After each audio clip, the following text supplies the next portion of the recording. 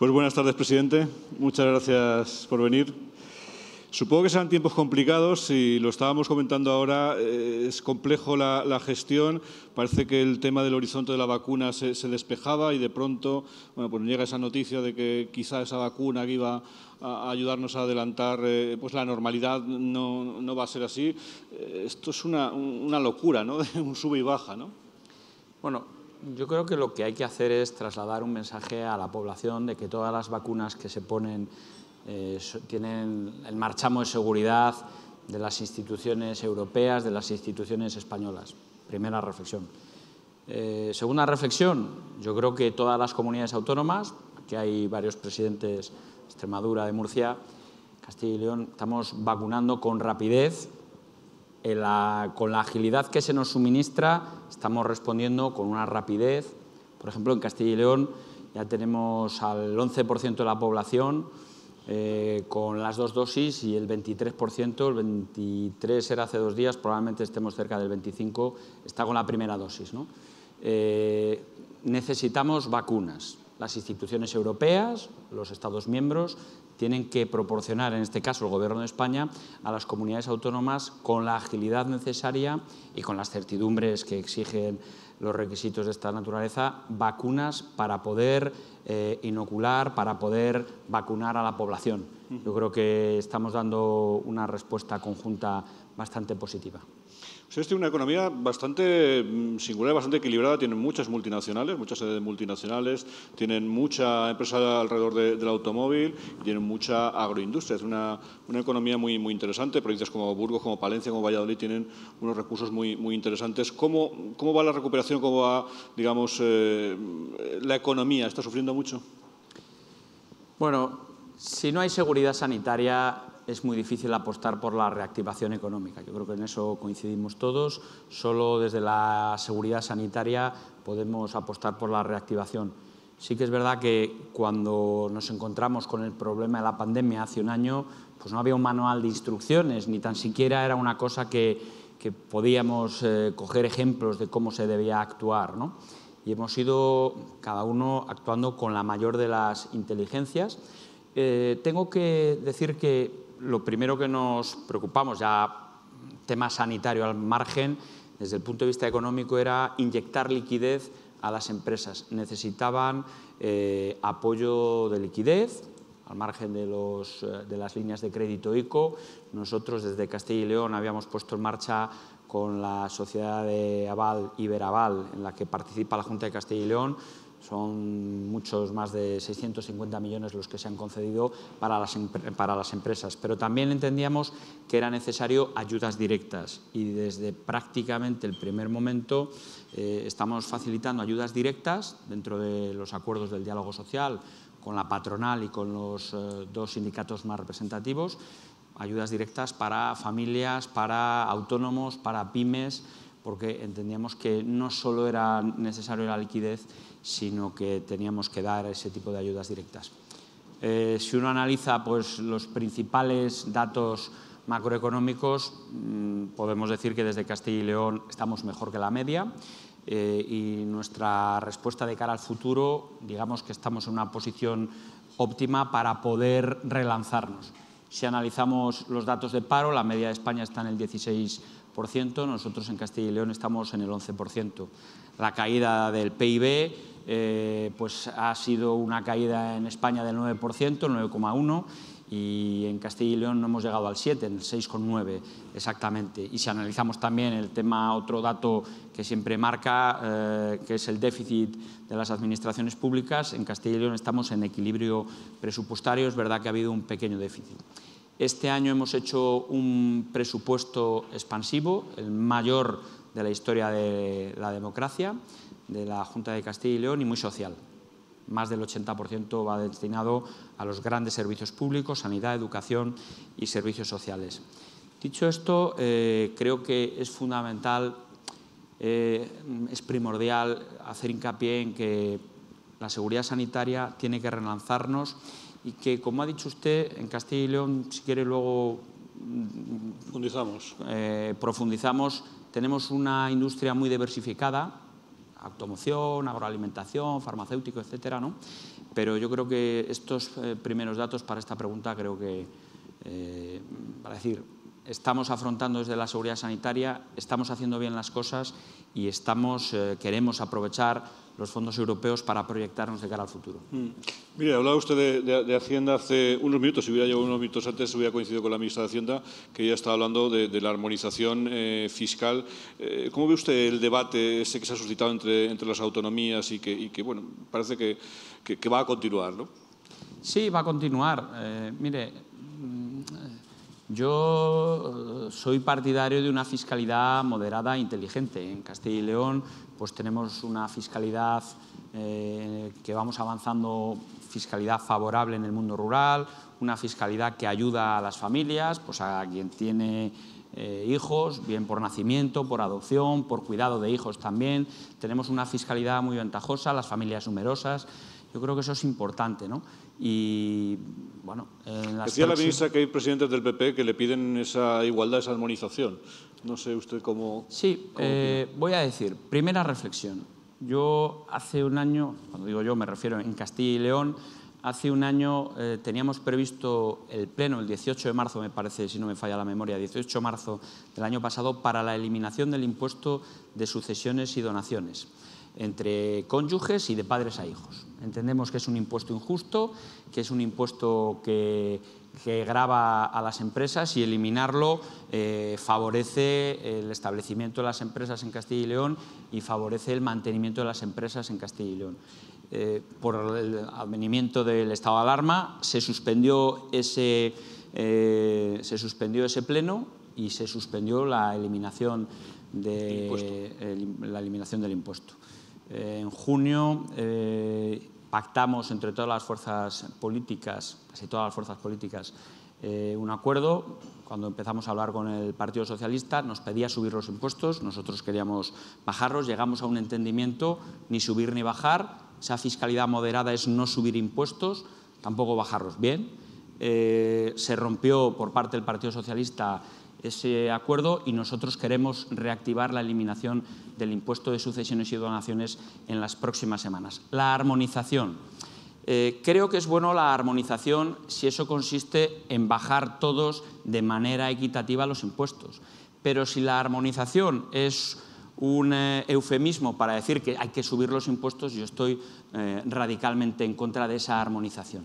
De hecho, estoy diciendo, vamos a eliminar un impuesto, el de eh, sucesiones y donaciones. Yo sé que hay gente que, está mm, radicalmente en contra o, que tiene una posición neutral. Nosotros entendemos, vuelvo a insistir, en que la armonización, si es a la baja, nos parece bien. Y si no, yo creo que hay que respetar la autonomía fiscal y que cada uno, en función de sus bueno, pues, circunstancias dentro del gobierno o su eh, posición política, pues tome la decisión que considere conveniente. Está claro, en todo caso, baja de, impuestos. Em, yendo ya a los Next Generation, ¿en qué proyectos, en qué, en qué mm, objetivos van a poner el foco? ¿Qué es eh, lo que están planteando el Gobierno central para eh, utilizar esos fondos para bueno, pues el salto, como todas las regiones, para los próximos 20 años? ¿no? Porque probablemente estemos definiendo con esto los próximos 10 o, 20 años. ¿no? Sí. creo que esto es algo importante.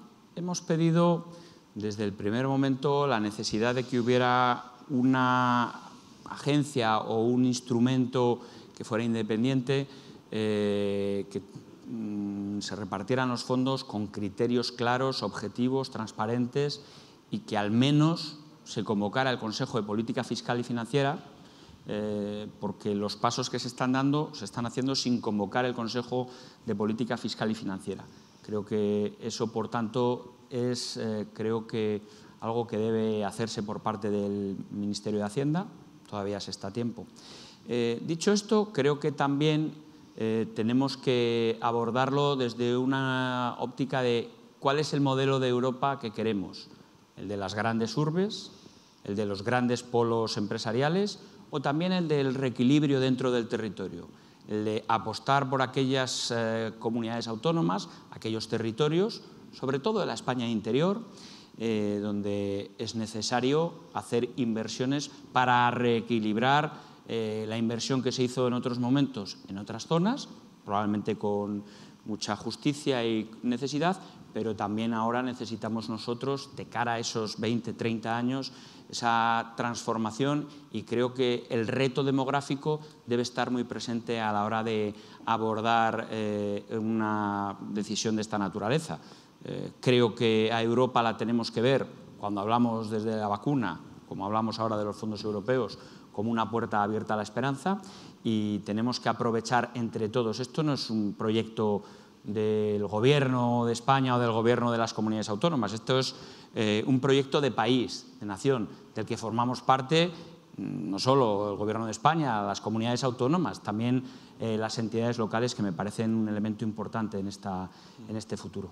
claro, estamos hablando de movilidad, se ha hablado hoy de los 12.000 puntos de, recarga, se ha hablado de, eh, ayer el presidente del Gobierno hablaba de la cantidad de fondos que se van a destinar a movilidad. Claro, la movilidad no es la misma en una comunidad como la suya, donde la extensión es inmensa y donde los núcleos de población están muy dispersos, que en una que está eh, muy concentrada y ustedes sus problemas no son los mismos que los demás. ¿no?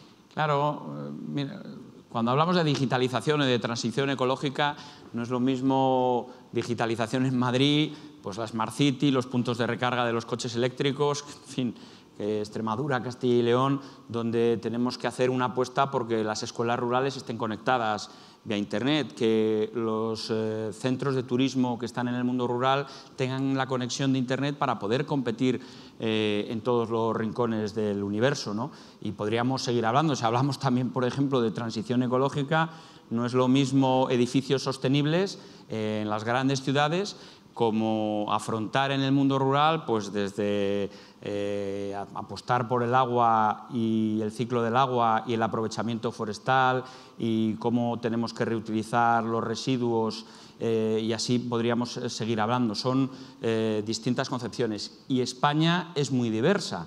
Estamos hablando en Castilla y León, la tercera parte de la población vive en municipios de menos de 5.000 habitantes. Por tanto, hay que darle una visión integral a, este proyecto. Y no solo la, la digitalización tiene que ser en las grandes ciudades. Es fundamental, es un objetivo la digitalización, la transformación digital en Castilla y León, que eh, Internet llegue a todos los rincones y a todas las personas, porque donde llega Internet puede llegar una oportunidad de trabajo, el teletrabajo. Se abre también la posibilidad de establecer una industria agroalimentaria, eh, o, por ejemplo, ahora mismo eh, cualquier persona que está desarrollando su labor en el campo eh, subido a un tractor, sembrando remolacha, con las nuevas tecnologías te permiten prácticamente el tractor puede ir en línea recta y solo el conductor tiene que darle la vuelta al tractor. Eso te permite las nuevas tecnologías. por tanto, es imprescindible, crucial, que se llegue no solo a las personas, sino al territorio, a los rincones eso es lo que va a hacer de nuestro país, de nuestra tierra, una tierra de oportunidades en todos los rincones. La teleasistencia también para las personas mayores, todo lo que va a significar la, telemedicina, ustedes también están apostando ahí, ¿no? Claro, nosotros apostamos por lo público, por los servicios públicos, por la sanidad pública pegada al territorio. Es necesario eh, la telemedicina, eh, por supuesto. Eh, consideramos que no solo los centros de salud tienen que estar los médicos, sino que los profesionales de la sanidad tienen que estar acompañados por los equipamientos tecnológicos que permitan hacer eh, rayos X con los aparatos portátiles de rayos X que permiten anticipar en esta pandemia lo hemos visto, anticipar las neumonías, eh, por tanto el COVID, antes y descongestionar los hospitales de la capital. Eh, la teleasistencia es algo que consideramos de primer nivel, la atención a las personas mayores, a las más vulnerables y desde luego esa teleasistencia eh, es un elemento eh, prioritario para los servicios sociales, algo de lo que podemos presumir en Castilla y León. Apostamos por la dependencia 5.0 hacerlo de manera gratuita a todas las personas mayores en todo el territorio. Consideramos imprescindible que puedan estar monitorizadas todas las personas que lo, soliciten, que lo demanden, eh, pues para detectar alguna caída, fuga de humos, etcétera, la localización de las personas por GPS. Yo creo que eso es imprescindible. Eh, también puedo hablar del transporte colectivo en el mundo rural, que eh, el transporte ya son servicios que están llamando a la puerta en el mundo rural eh, tenemos lo que llamamos el bono del transporte a la demanda rural, que permite que 5.000 localidades de nuestra tierra y para 1.200.000 potenciales usuarios tengan un transporte colectivo gratuito dentro de lo que es el área de influencia para poder eh, recibir los servicios públicos como la sanidad, eh, poder recibir el ocio, poder acceder a eh, otro tipo de establecimientos comerciales. Yo creo que he puesto tres ejemplos concretos de lo que debe ser la, implantación de estos servicios en el territorio. Eh, la relación, imagino que, bueno, os decía al principio que la relación eh, le hubiera gustado que fuera más fluida. Algunos presidentes hablan de que les falta certidumbre en, lo, que, en lo que va a pasar en, los próximos años, pero eh, ¿cree que habrá, podrá haber entendimiento en esa, en esa petición con el Gobierno central y un reparto, digamos, honesto y, y sensato? Bueno, aquí hay que decir que, mm, aunque seamos del mismo partido o no seamos del mismo partido. Todos luchan por lo mismo. Todos luchamos por lo mismo, que es por defender el mayor número de recursos en base a nuestra, eh, para nuestra comunidad autónoma, lógicamente. Y nadie tiene que entender esto como algo eh, ni ideológico eh, ni, ni, algo personal. Cada uno defiende lo que Usted considera... Usted elegido a sus ciudadanos para que pelee por lo suyo, ¿no? Por supuesto. Mm. dicho esto, vamos a ver, hay un modelo que está asumido por parte de todos, aunque es verdad que estamos la mayoría descontentos con él, que es el modelo de financiación autonómico, pero que teníamos asumido, que creo que es el que se debería haber utilizado para el reparto de los fondos RIAT, para el reparto del fondo extraordinario no reembolsable, para el reparto de los 7.000 últimos millones para los eh, autónomos, pymes, etcétera, ¿no? los comerciantes, hosteleros, etcétera. Eh, esos criterios no han sido justos con Castilla y León eh, pero bueno, seguimos reclamando al Gobierno de España y esperemos que, si no en todo, en parte se pueda corregir. Estamos concluyendo ya, pero claro, presidente, hay un tema, eh, me refiero a usted y me refiero al resto de presidentes y, al, propio, y al propio conjunto de, España y del Gobierno.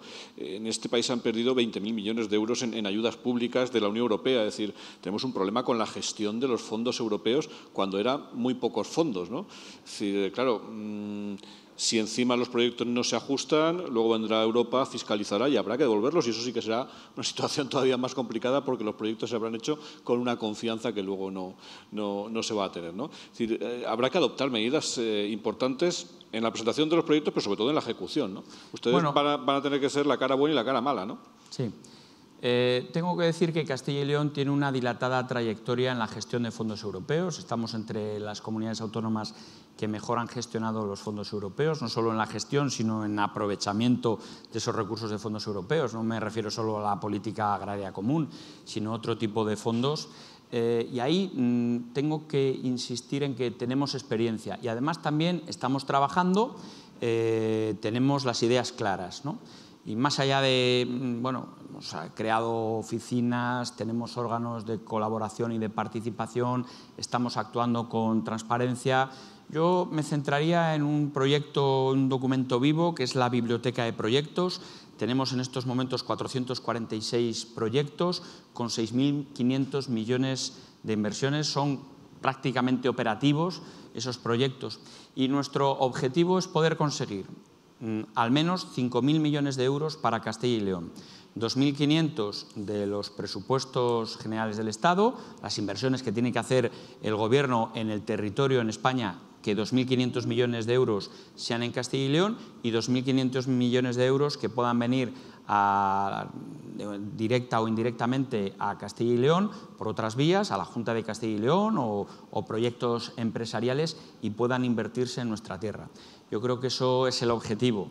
Eh, a partir de ahí vamos a estar pendientes todos desde la máxima colaboración, pero vuelvo a insistir, creo que es un proyecto no de gobierno, sino de nación, de país. Es un reto que tiene un reto colectivo que tenemos todos los españoles, que tiene España, y ahí todos tenemos que colaborar. Y desde la Junta de Castilla y León eh, estamos en la mejor de las disposiciones de colaborar eh, coordinadamente con las comunidades autónomas y con el Gobierno de España.